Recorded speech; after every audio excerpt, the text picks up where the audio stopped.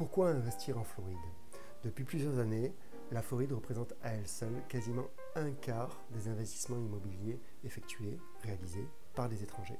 Loin devant donc la Californie et le Texas. Quelles en sont les raisons? Tout d'abord son évolution démographique. En effet, la Floride connaît une évolution constante de sa population. Elle se positionne d'ailleurs comme étant le troisième État le plus peuplé des États-Unis.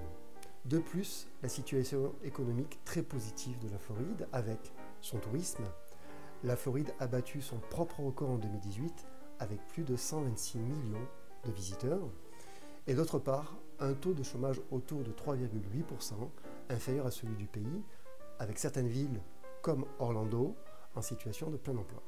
Troisième et dernier point, des prix immobiliers compétitifs ainsi qu'une fiscalité particulièrement attractive les prix de l'immobilier sont toujours en deçà du niveau d'avant la crise dans quatre États américains, dont bien entendu la Floride, qui bénéficie en plus d'une fiscalité particulièrement avantageuse. Enfin, sachez qu'il existe une convention franco-américaine qui empêche la double imposition.